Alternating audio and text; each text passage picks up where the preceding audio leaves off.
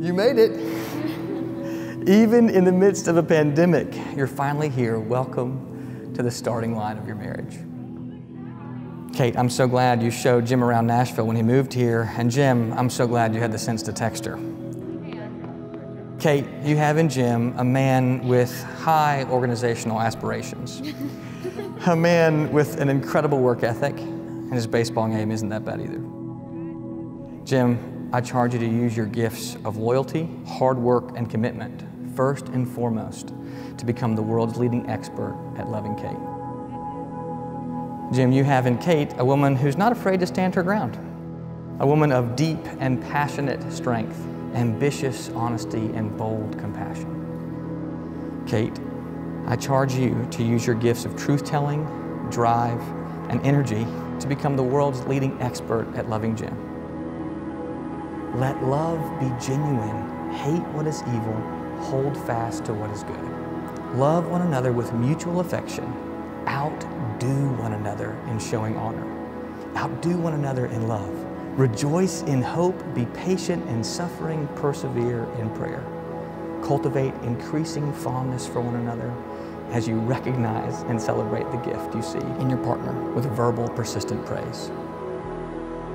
Your intimacy will grow in your ability not to rescue each other from your needs, but in your capacity to be with each other in the unmetness of them. I charge you to care for each other by giving the gift of sharing and knowing each other's needs, offering them to God in prayer, especially when you can't meet them. Finally, don't ever stop learning more and more about what it means to be Christ like lovers of one another. God sent Jesus Christ to reveal God's love for the world, and God has sent you to each other to reveal God's love in your marriage. Love one another the way Christ loves us. Outdo one another in embodying God's love in your marriage.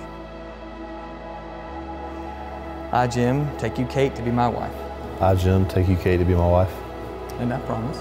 And I promise. Before God and these witnesses. Before God and these witnesses. To be your loving and faithful wife. To be your loving and faithful wife. To be your loving and faithful husband. In plenty and in want. In plenty and in want. In joy and in sorrow. In joy and in sorrow. In sickness and in health. In sickness and in health. As long as we both shall live. As long as we both shall live. As long as we both shall live. Will you, family members and friends, promise to uphold and encourage these two in their marriage through word and deed, love and prayer, encouraging them to love one another the way Christ loves us? If you so promise, please stand. You don't deserve this.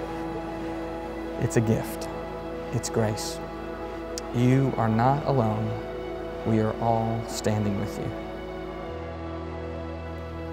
It is now my privilege, by the power vested in me, to pronounce you husband and wife. You may kiss bride.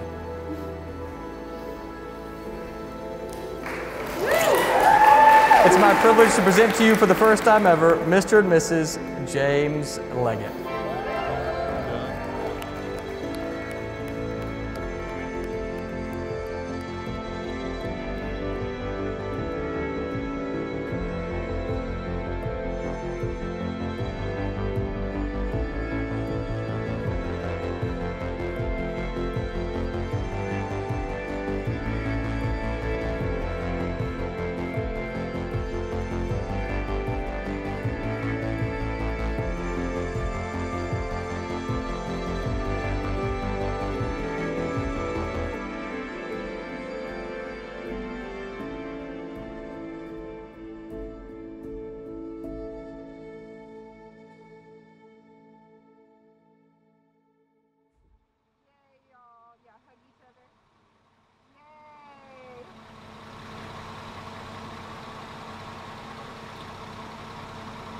Ooh. Gonna throw out that